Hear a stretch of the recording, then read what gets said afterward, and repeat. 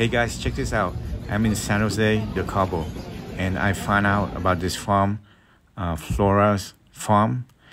In there, they have so many tropical fruit trees. I think there's like acres of uh, fruit trees, and what you're looking at right now is are like mango trees.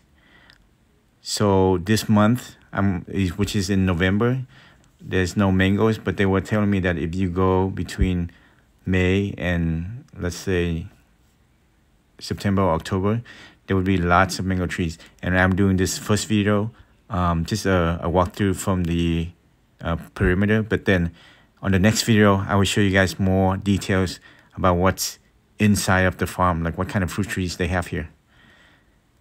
So thanks for watching. Catch me up on the next video.